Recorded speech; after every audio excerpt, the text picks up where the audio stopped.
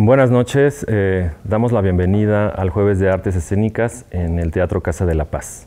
Como muchos colegas de Artes Escénicas eh, sabrán, pues eh, los tiempos de pandemia nos han castigado notoriamente a todos los artistas escénicos y a los artistas en general, entonces pues buscando alternativas postulé para este premio con un proyecto a partir de la obra Espectros de Ibsen y pues fui escogido como uno de los cuatro ganadores. Es un premio para artistas escénicos eh, de todo el mundo y pues tuvimos la fortuna de ser elegidos.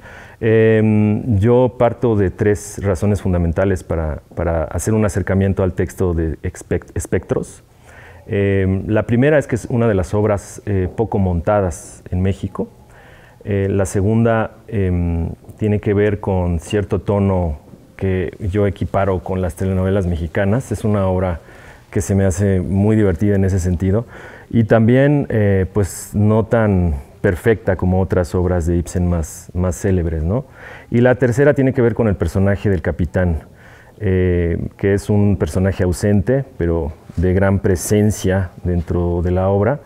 Y eh, pues hice un paralelismo con un general mexicano, un general ficticio mexicano. A partir de ahí eso fue como el germen.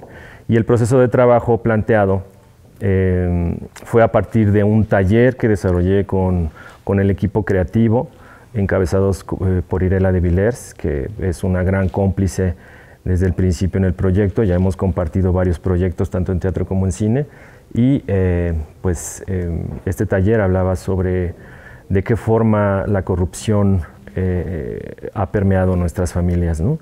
Em, el taller devino en la escritura por partes de esta adaptación eh, y em, tuve la fortuna de ir probando las escenas eh, al mismo tiempo que se iba escribiendo un proceso pues un poco más abierto de trabajo.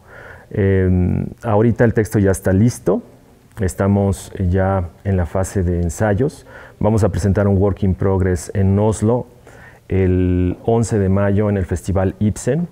Y bueno, en realidad es en Skin, el pueblo donde nació Ibsen, y pues es un gran, la verdad es que es una gran oportunidad y es un gran privilegio como dramaturgo estar en un espacio tan significativo. Bueno, eh, como te comentaba un poco fuera de cámaras, es, una obra que, que está em, desarrollada a partir de personajes paráfrasis, eh, son más metáforas que, que, presencias realistas. ¿no? Entonces, Aurora, que es, es, el personaje, se llama de otra manera en la obra de Ibsen, es una especie de Frankenstein de diversos personajes mexicanos, de esposas de políticos, eh, generales y gente eh, pues pudiente mm, de la Ciudad de México. Em, yo creo que el, personaje es muy, muy fuerte, no es para nada una, una, mujer que se libere, como al final Nora podría decirse que lo hizo, ¿no? Es, un personaje que todo el tiempo ha callado y de pronto tiene el uso de la palabra. Yo lo llevo a, lo exacerbado al, al, plantear una ceremonia pública, todo parte eh, de un monólogo de esta de esta viuda conmemorando la develación de, la estatua de su esposo. Entonces, a partir de ahí, ella tiene el uso de la palabra y por primera vez, a través de las mismas, ella se libera. Entonces, es muy, muy divertido cómo tiene por primera vez el micrófono público y lo utiliza para hacer un verdadero caos. ¿no? Como dramaturgo, pues eh, siempre he estado obsesionado con las palabras y cómo las palabras se manifiestan a través de los cuerpos. Yo ya vengo explorando desde mi anterior obra un cierto tipo de teatralidad expuesta, donde los personajes tienen la conciencia de estar hablando ante un público. Y creo que eso dota al espectáculo de cierto tinte surrealista que hemos explotado en todo momento. Es el mismo caso de nuestro amado general. Bueno, pues eh, también en el caso del general es, un personaje eh, que está hecho de múltiples pedacitos.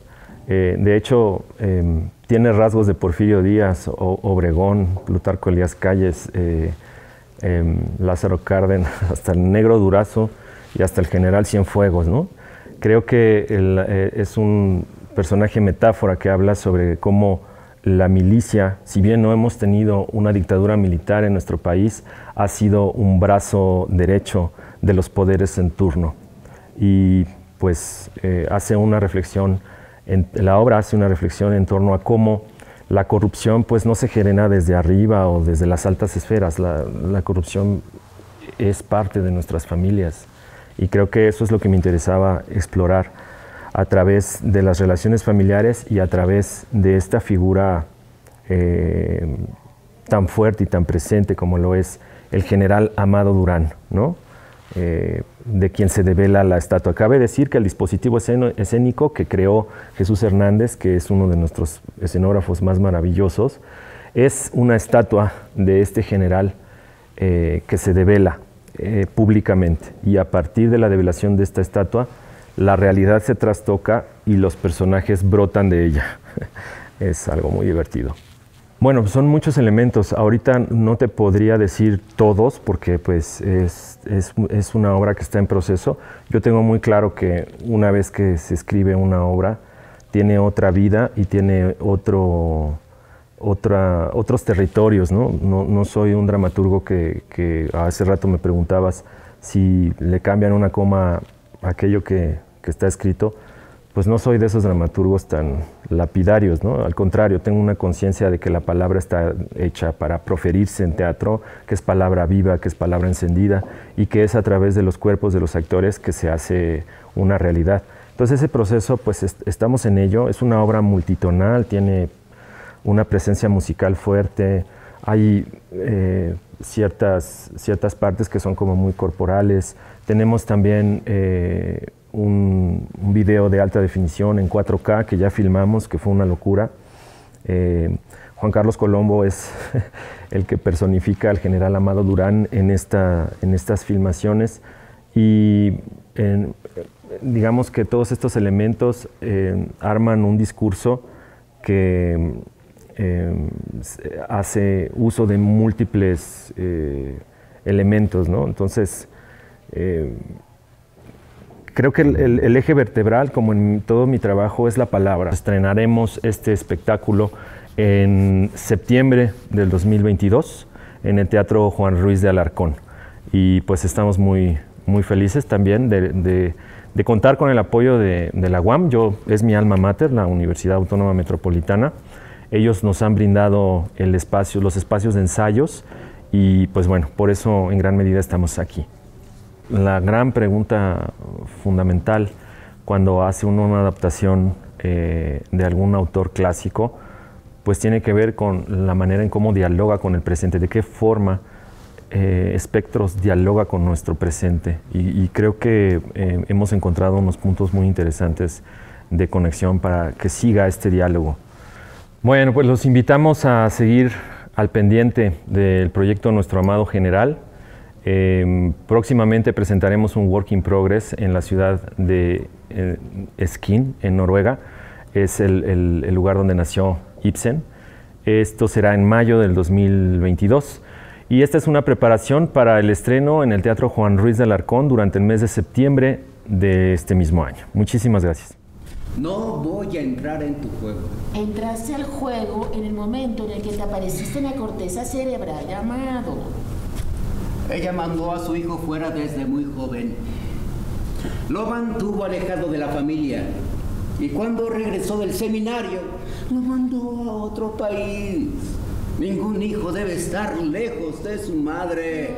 Ay, eres un hombre curioso. Te preocupa porque he sido una mala madre y tú vendiste a la madre de los mexicanos. El padre León Cepeda vendió no sé cuántos millones de dólares el copyright de la Virgen de Guadalupe, una empresa gringa, pero dice que he sido una mala madre pero no procedió.